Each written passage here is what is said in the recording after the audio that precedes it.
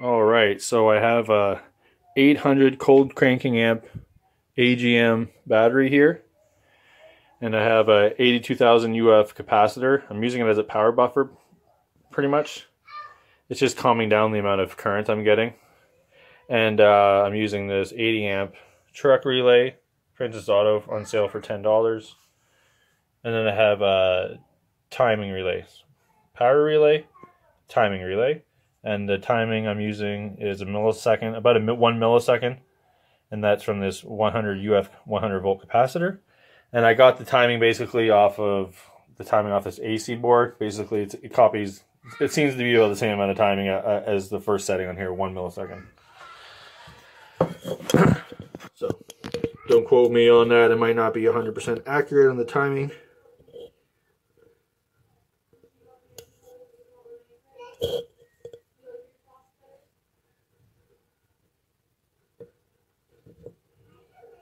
I just got some old scrap cells here just to set up and to show you how it works. So I already have it turned on.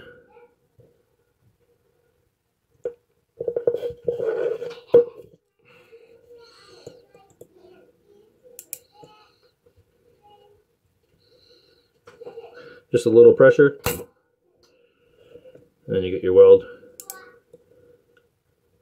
Just a little pressure. I get my weld. Just a little pressure. Just a little pressure.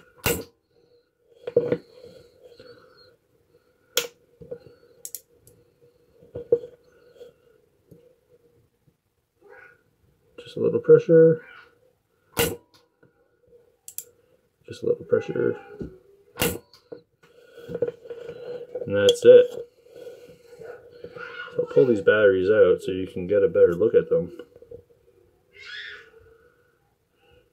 As you can see no big heat marks